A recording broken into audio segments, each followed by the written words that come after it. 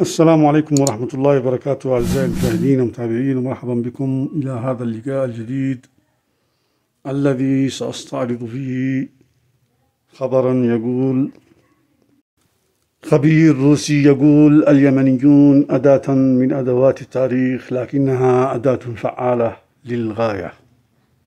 وإلى التفاصيل. تحققت توقعات الخبير السياسي الروسي ألكسندر نازاروف بالهجمات اليمنية التي تطلقها قوات صنعاء بقيادة أنصار الله على السفن التجارية في البحر الأحمر خلال أقل من أسبوع.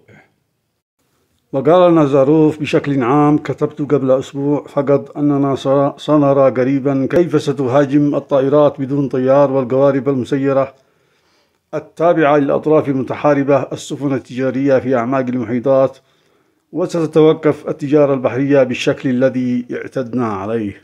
وأضاف لم أكن أتوقع أن يبدأ هذا قريبا فالحادث الذي وقع مع الناقلة الهندية هو بالضبط ما حذرت منه وسيزداد عدد مثل هذه الحوادث. وأشار نازاروف إلى أن ناقلة النفط تشين بلوتو التي تعرضت لهجوم بمسيرة مملوكة لرجل الأعمال الإسرائيلي إيدان عوفر وكانت ترفع علم ليبيريا وأن الحوثيين يتجاهلون الأعلام المرفوعة على السفن ويعتبرون هيكل الملكية أولوية فإذا كان المالك مرتبطا بإسرائيل تصبح السفينة على الفور هدفا محتملا لهم. وقال الخبير الروسي إنه بالنسبة للناقلة الهندية فمن الواضح أن الهجوم لم يكن ليحدث دون مشاركة طرف ثالث قدم معلومات استخباراتية ومراقبة عبر الأقمار الصناعية. وتساءل هل تمتلك إيران مثل هذه القدرات في المحيطات على أي حال؟ يمكننا الآن أن نتوقع هجمات على السفن الإسرائيلية في أي مكان في العالم. وسيكون البحر الأبيض المتوسط هو التالي. وفي وقت سابق أشار نازاروف إلى أن العالم يدخل تدريجيا عصر القرون الوسطى الجديدة وهو انتقال من عصر قيادة الحضارة الأوروبية إلى عصر جديد لم تتضح معالمه بعد. مؤكدا أن اليمنيين في كل هذا أداة للتاريخ لكنها أداة فعالة للغاية.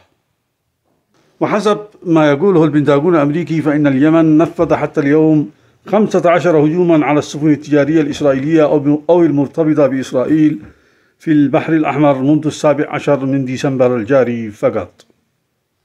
ويؤكد الجيش اليمني إن هجماته التي تضال سفنا تجارية هي تستهدف فقط السفن الإسرائيلية أو المرتبطة الذاهبة أو القادمة من وإلى موانئ كيان الاحتلال الإسرائيلي.